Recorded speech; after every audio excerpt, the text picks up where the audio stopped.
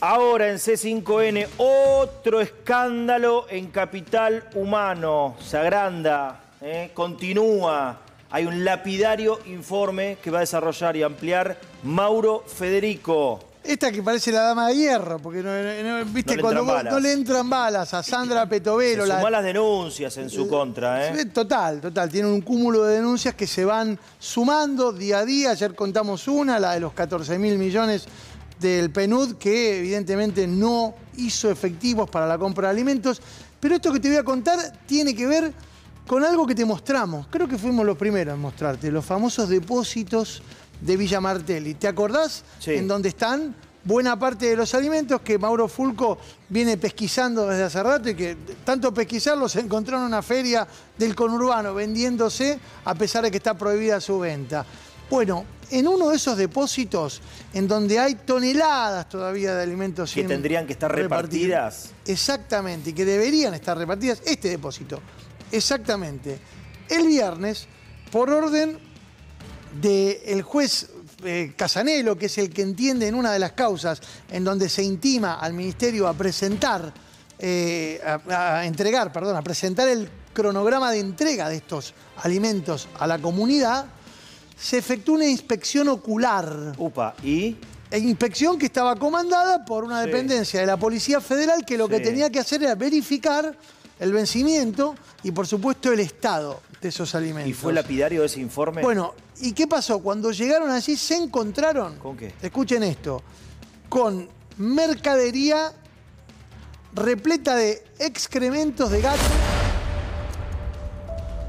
profundo olor a orín, dice gato. orín de gato, la yerba, porque justamente había un pedido especial de la inspección sobre lo que tenía que ver con las toneladas de yerba. ¿Se acuerdan que hubo una polémica por si la yerba esa La yerba llena de palo. estaba llena Claro, de palo? que no era de buena calidad. Polvo la, y palo. La que la, la doctora Gianni mostró en un programa de televisión que decía esta No, yerba estaba en mal yerba. estado. Pero Que luego. cata- que catadora de yerba. Sí, pero no de- solamente eso. Después, de cuando se eh, realizó efectivamente el estudio dermatológico, resulta que no era así como manifestó. la Exactamente. Bueno, esa yerba estaba repleta de excrementos y orín de gato con un olor nauseabundo que incluso lo habían corroborado en presencia del personal que estaba allí. Se labra un acta, esto ocurrió el día viernes. Y se efectúa una intimación para que se proceda a limpiar y a recuperar el material que No, se pueda recuperar, Mauro, porque en definitiva estamos Mauro, pará, hablando... no dejes pasar esto. Yo sé que tenés mucha información, lo vamos a desarrollar. Pero hay que detenerse en esto. Mientras hay alimentos, leche en polvo, yerba, otros alimentos no perecederos que siguen achicando su tiempo de vencimiento, su fecha de vencimiento, que se rehusan, que se resisten a ser entregadas a gente que lo necesita, que no tiene un plato de comida, que van a la justicia, que se niegan a entregarlo, hay gatos, hay ratas, hay olor a pis de gatos, se están pudriendo en ese lugar con una perversidad y con una maldad nunca visto. Esto es gravísimo. ¿Cómo va a haber gatos en, medio de la comida Bueno. que puede traer enfermedades? Esa te- comida a la larga va a ser entregada a la gente. Le van a entregar alimentos a la gente meada por los gatos. Te voy a dar una Es explicación, gravísimo. una explicación que me daba una persona que se dedica justamente al almacenamiento de alimentos. Muchas veces, en los depósitos donde se, al- se almacenan alimentos no perecederos, se, se ponen gatos, ¿para Pa- qué? Para que Para- coman las Para, ratas. las que- claro, ratas. para, combatir las a las Pero no ratas. puede estar los alimentos entre gatos y ratas. Bueno, Eso se habla de abandono, de falta de cuidado. Exacto. Sí, Exacto. y de desidia y de falta de humanidad ya, porque... Chico, dice no se podía, no se podía respirar A ver, el olor a pis de gato. La complicación judicial es la siguiente. Cuando le llevan al doctor Casanelo el informe, pide el informe respecto de la calidad de la yerba y le dicen que la yerba estaba bien, Dale, pero por favor, van a hacer le dice, pero perdón, hacer un- un- pero perdón, eh, usted, y le dice a la doctora Jenny usted dijo en otra causa que estaba mal, que no estaba en condiciones. Lo dijo mediáticamente. Exacto. inclusive. Entonces de Capital Humano van y le dicen a otro juez federal, en este caso el doctor Lijo, que está subrogando varios juzgados federales, bueno, ordenen una prueba al Instituto Nacional de Alimentos, al Dale, INAL, ¿En serio? Porque me están diciendo si es apto o no. Y en ese contexto es que van a tomar una prueba y se encuentran con esto. Es decir, la misma, el mismo Ya material que habían. Lo, están- lo han dejado estropear, que eso es lo peor de todo. Han dejado por desidia, por desatención, que esa materia prima, que son productos alimenticios que perfectamente podrían haberse distribuido de haber existido el criterio adecuado, Ya hicieron lo mismo con los pan dulces, Se con las cajas navideñas. Sí. Que los pan dulces no eran de la calidad que la gente merecía. No compraron pan dulces como ellos creían que la gente tenía que recibir. Tampoco entregaron y dejaron vencer cajas navideñas. Esto fue apenas asumieron que la Navidad- asumieron el 10, el 24 de la noche voy a festejar y no entregaron cajas navideñas por el mismo motivo que dicen de la yerba, porque no es la calidad que ellos brindarían. La cuestión es que no entregan lo que consideran de mala calidad, que no lo es. Tampoco compran cosas buenas para que la gente las, las- sí, sí, las obtenga. y dejan que se venza, se pudra se deteriore producto de esta de Y este si descuido. compran, y si compran, entregan la plata, pero la mercadería no aparece y nadie sabe, nadie sabe, como pasó con los 27 mil millones de pesos, a dónde fue a parar ese dinero y dónde está la mercadería. Les hago un punto y seguido. Es tremendo lo que pasa en Capital Humano. ¿A ¿Alguno de ustedes les asombra que se hayan hecho, echado a perder o que haya olor a pis de gato o que No, no. la comida esté en el medio ¿Sabe qué de la asombra? total? Si no pretendían entregarla, si ellos hicieron ocho presentaciones judiciales para no dársela a los Es la Mauro, es la billetera abierta. No es lo lógico, es es un la billetera abierta. Mauro, es la billetera abierta Ratas, ley. si no eran gatos, eran ratas. Y si no eran ratas,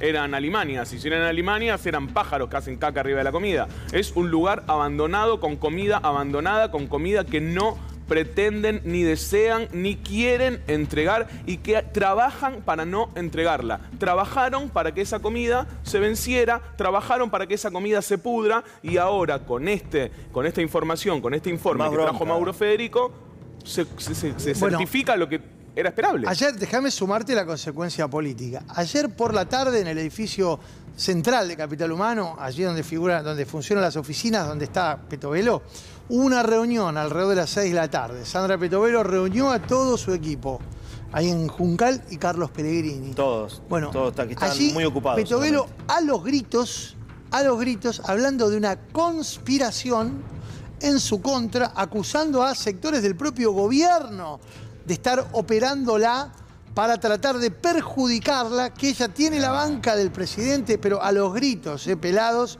ayer por la tarde en la sede del Ministerio de Capital Humano, no- una no- ministra desequilibrada porque, porque pasó lo que, como dice Mauro, era clavado que pasara. Si no, nadie estaba haciendo lo que debía hacer. Ya, había- ya les había tomado el pelo a los manifestantes cuando habían ido a reclamar que se entregue esa comida. Dijeron, vamos, voy a hablar uno por uno. Al día siguiente fueron a hablar uno por uno, hicieron una fila de 15 Sí, cuadras. sí, la fila del los hambre. no, la fila del hambre no los atendieron. Hicieron la manifestación de las ollas vacías frente a Capital Humano, lo que era, o en realidad al otro edificio, el de desarrollo, ex desarrollo social, tampoco les prestó atención. Denuncias de distintos comedores, más de 45 mil que no reciben nada. Bueno, lo entregó a una organización, a, a eh, Conin era. Conin, claro. Conin, que eh, tenía que haber ¿Y dónde terminaron parte de esas leches? Exactamente. Entonces, no se da cuenta que hay o una inutilidad en su accionar, una inoperancia como ministra, y hay una banca, sí, hay una banca, claramente, si no, no estaría ahí.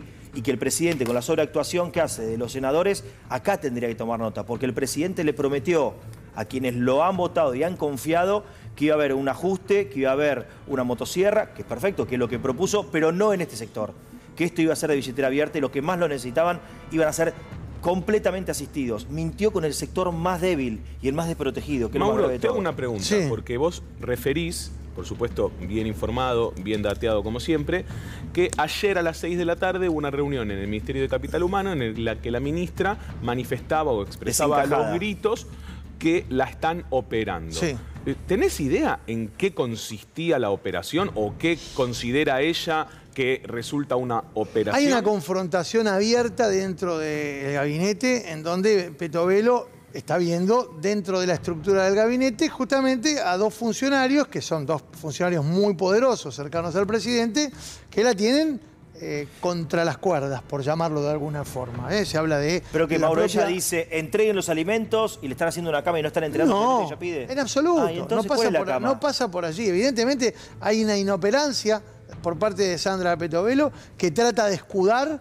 con argumentos ligados a esto de las internas que ciertamente no son mentiras. ¿eh?